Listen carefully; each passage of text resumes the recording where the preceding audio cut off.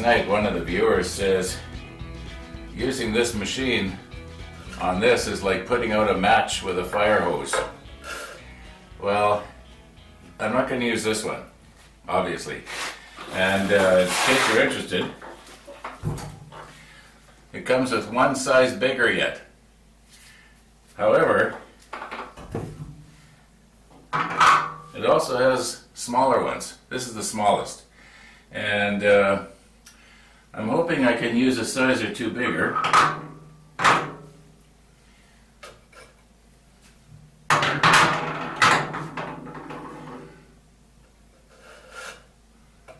Oh, that's just a little bit too big. Okay, it looks like I'm going to be able to use the second from the smallest. And I don't think it's going to hit the top of the case. No, it's going to fit. So that's what we're going to use today. At least we'll start out with this one. Maybe I'll move up one afterwards. We'll see.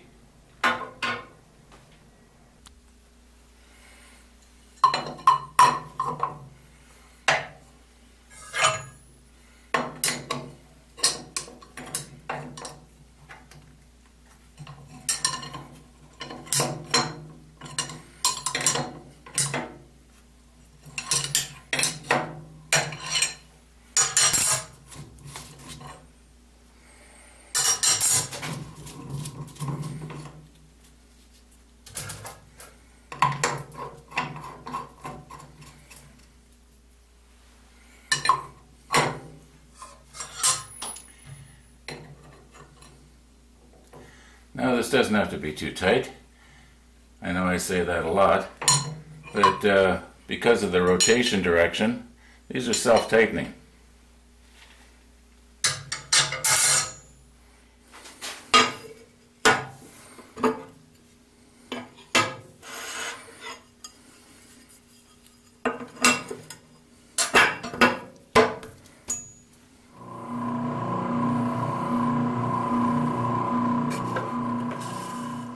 Obviously, it's not too big, but then I did know that, right? And another thing, I did promise Uncle Jake, well, I didn't promise him, but I told him this clock should be ready by tomorrow night, so I better get something done today. Now, what I plan to do is get rid of these uh, corners, of course, and I'm going to see how it would be if I leave most of this, you might call it a little tongue here. But I also want to come back oh, that's probably a, well, not too far because then the uh, this uh, piece of wood here will lose strength, but probably come back about this far. I moved a little bit there. Yeah, if I come back like that, whoops, I broke my lead. I don't do retakes, folks. Well, anyway, you get the idea. Okay, I'm all set up here, ready to go. And I've got the uh, dust collector hooked up. And when I turn on the spindle sander, I want to make sure that I'm holding this down tight against the tabletop. The reason being is something light like this, if it was to sort of catch, it could start going around like this. And the motor is turning at 1725 RPM, that's what the spindle speed is you know, it could, before I could stop it, it could shake this poor little box apart. And we don't want Uncle Jake to be upset with me. So, here we go.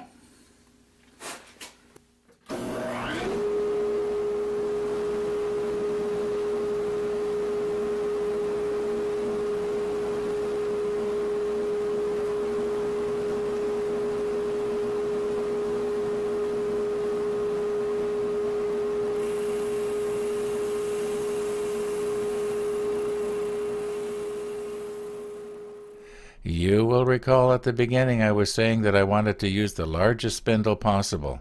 Well, the reason for that is because the bigger the spindle, the faster the sanding goes.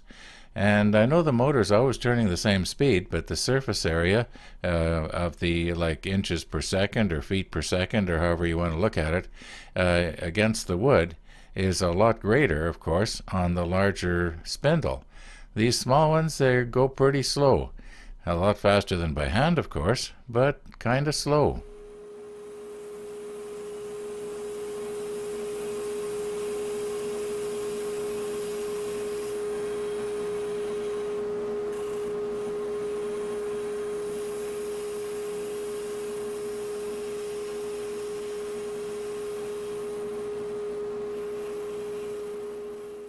I'm just going to let everything run here at real time. I'm not going to speed it up or cut anything out.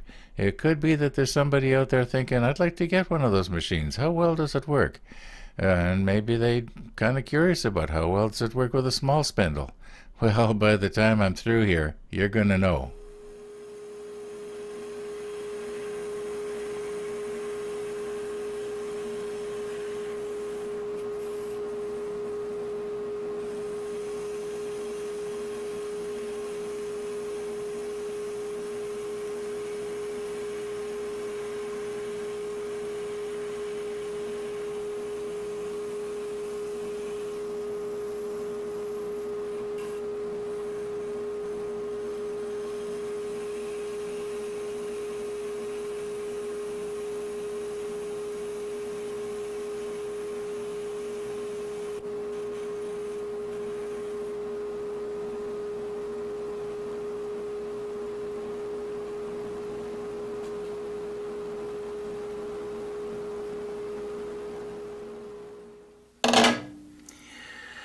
Well, I guess you kind of noticed my my sanding tube was letting go there.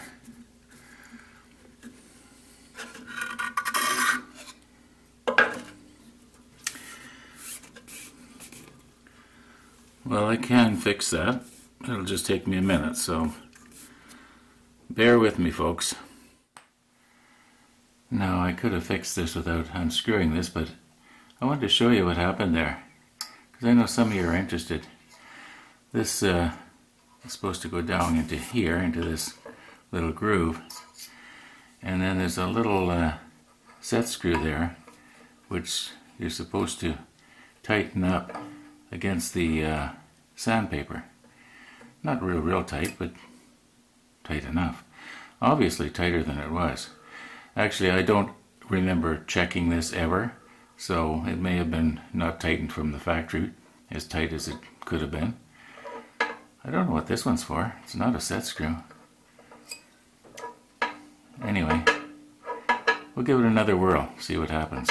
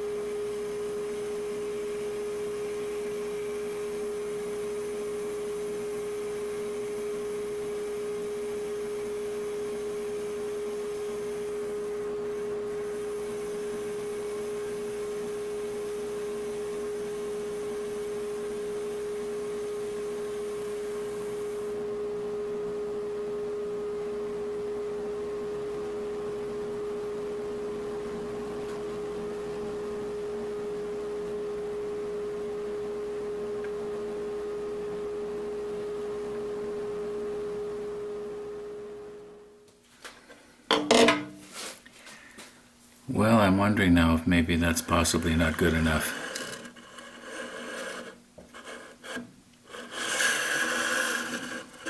It's probably in about a sixteenth of an inch. I think I'm going to give it a try. If it's uh, if the pendulum rod is, you know, rubbing against here, I can always take it apart and do some more. But I think it's going to be okay. Now I did put it back on the sander and go down about another, oh, 64th, maybe 32nd of an inch. Just to play it safe. Just in case this case is not going to be hanging straight on the wall and uh, things start rubbing. Anyway, let's see what we got here.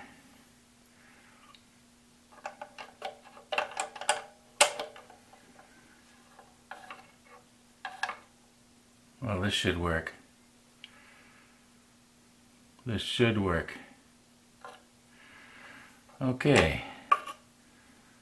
Next thing is, where are we going to locate the speaker?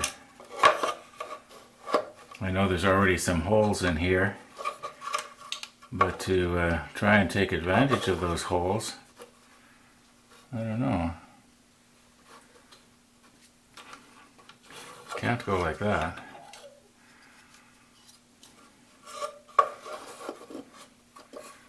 Maybe off to one side.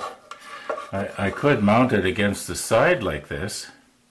That, that'd be okay. But it would be best if the openings for the speaker were actually right up against, you know, openings like, like this. I'll think of something. Okay, here's an idea. I'll be if it was mounted on the top, the wire could go in through this hole that's already here. And then it wouldn't really be seen from the front. Let's just sort of hang it up on the wall and see what that would look like. Now don't go thinking that because you can see a roll of toilet paper, we're in the bathroom. Nope, I took down one of my saw blades.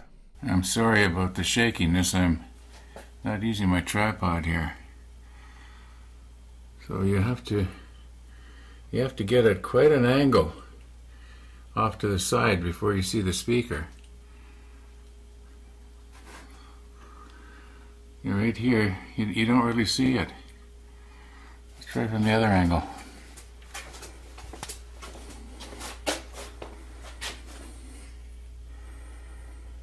Okay. If you go like this, you can see it. But you're at a, a quite an angle there, and it doesn't really doesn't really look like anything bad. I think that's what I'm going to do.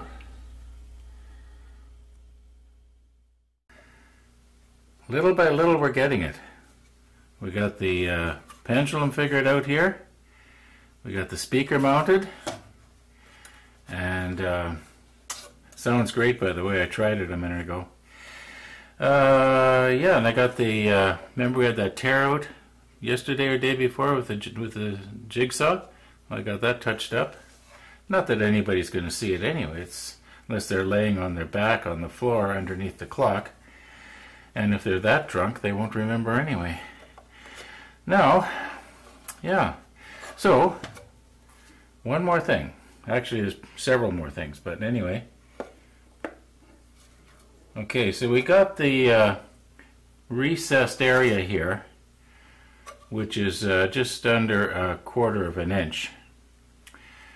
And that means that when I put the movement in, this piece here is not, you know, when I tighten the nut up really tight, now you don't want to do it too tight by the way, but if I was, to, if somebody was to, it's going to sort of be pulling this thing out of shape because there's there's nothing supporting here. It's just supported on the corners. So it could conceivably, uh, you know, bend something out of shape. I don't think it would, but why take a chance? So what I'm going to do is I'm going to take my washers here and see if I can't make something up that's going to be about the same thickness. Uh, one more washer. Let's try this. Try this combination. Um, not quite.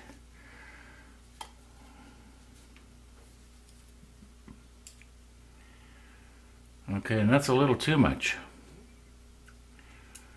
Well, I'll think of something. Anyway, and then after that, the only thing left to do really is determine which hands we're going to use. And uh, at the end of this video, I'm going to show the two or three different styles of hands that I've got.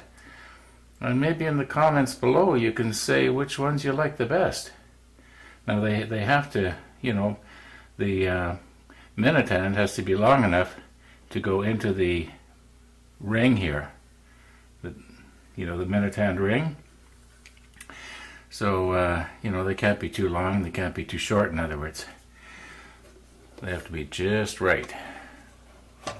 I think I've got two or three different pairs. The hands that came off of the original movement won't work on this, unfortunately.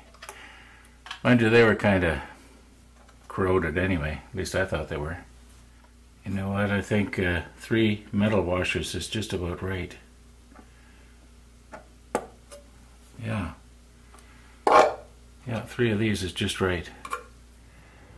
Now, when the batteries are being put in, if a person isn't too careful, it would be quite easy to accidentally twist the movement just a little bit crooked.